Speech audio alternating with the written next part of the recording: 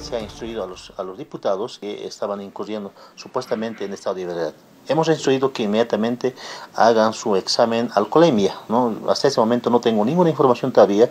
Estamos esperando el informe de nuestros colegas diputados que han sido denunciados con supuestamente que estaban en estado de ebriedad. ¿no? Yo no los he visto, pero si es que caso llegaría el informe médico, por lo tanto, pues corresponde a la comisión ética. Por lo tanto, yo creo que en la comisión ética se le va a tener que sancionar si se han incurrido este clase de delito nuestros colegas diputados. Eh, prácticamente de dos meses a seis meses. Por lo tanto, yo creo que eso, la comisión ética es donde que tiene que dar una suprema. ¿Cuándo tendrían que entregarle usted el resultado de este test de Bueno, eh, yo voy a pedir bajo una nota a nuestros colegas diputados que han sido denunciados por la parte de la oposición.